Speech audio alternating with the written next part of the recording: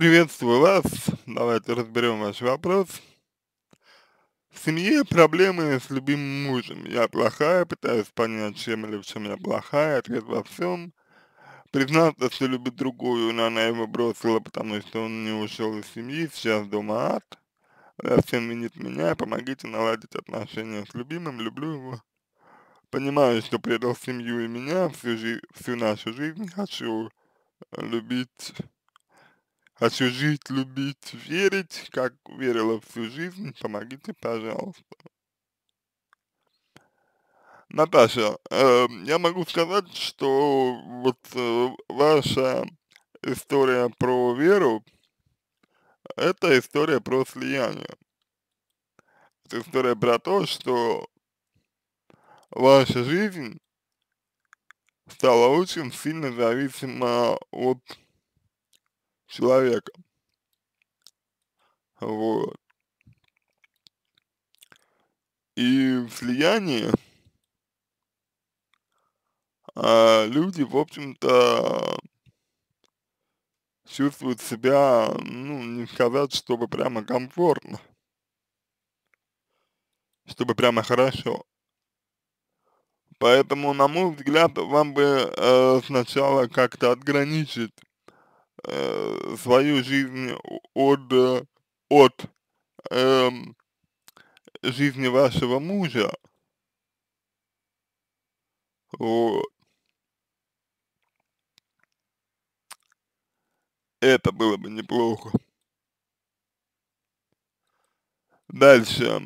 Эм, значит, эм, поработать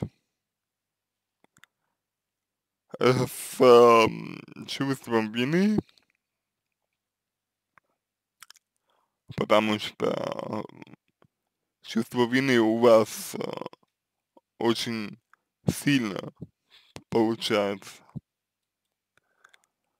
И, и вам, э, ну, вот, вот в том числе, в том числе, э, чувство вины э, не позволяют э, ну, ну, реагировать, э, скажем так, в этой, ну, в этой ситуации, э, так, как вам бы хотелось. То есть именно чувство вины вам здесь э, несколько вот, ну, сбивают вас. Я бы, я бы, ну, я бы так сказал. Вот. И, соответственно, чувствуется, что э, чувствуется, что есть а, некоторая проблематика. Э, с э, самооценкой, вот, то есть, то есть, э, что получилось сделать у мужа? У мужа получилось обесценить вашу жизнь. Что, собственно, вот причиняет боль. А получилось у него это сделать именно за счет того, что вы сами ее как бы обесценили. Вот. Поставив зависимость от своего мужа. В глубине, в глубине а, находится достаточно сильное непринятие вами самой себя. И обвинение вашего мужа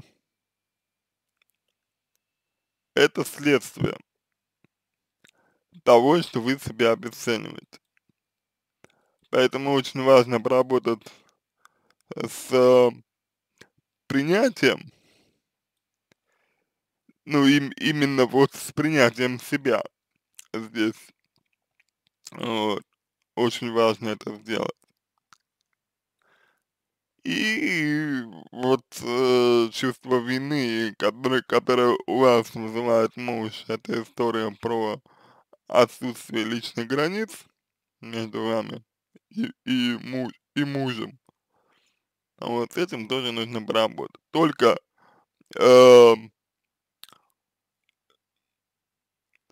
выйдя из слияния, только э, выстроив границы между вами и ним, эм, только изменив отношение к, к себе, вы сможете выстраивать с ним э, здоровые отношения. Ну и само собой речь здесь идет, конечно, еще о том, что у вас много боли, да, то есть боль от обвинения, э, боль от измены, вот, это тоже необходимо прожить, чтобы это вас не мучило. Ну и напоследок хочется сказать, что вы говорите, э, что понимаете, что он предал, да, вашу семью и, и вас, но в то же время вы хотите наладить с ним отношения. Так а это означает что? Что вы его простили? Это означает, что вы приняли его? Или вы хотите наладить отношения с ним, потому что вам это нужно?